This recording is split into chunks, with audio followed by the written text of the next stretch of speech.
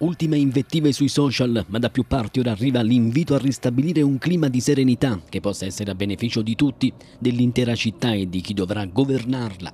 Abbandonare dunque le contrapposizioni e pensare subito a risolvere le tante problematiche sul tappeto attraverso anche una collaborazione tra maggioranza e opposizione nel solo ed esclusivo interesse di Ariano intercettare i finanziamenti, elaborare i progetti e risolvere le questioni più annose. È questo che ora si aspettano i cittadini, a partire dagli elettori che con fiducia hanno scelto una nuova squadra governativa.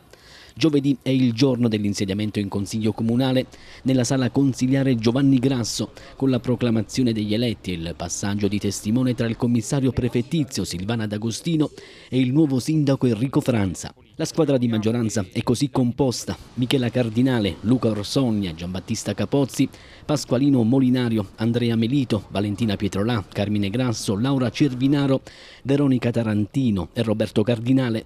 Sette sono volti nuovi e quattro ex della precedente breve esperienza amministrativa di Enrico Franza.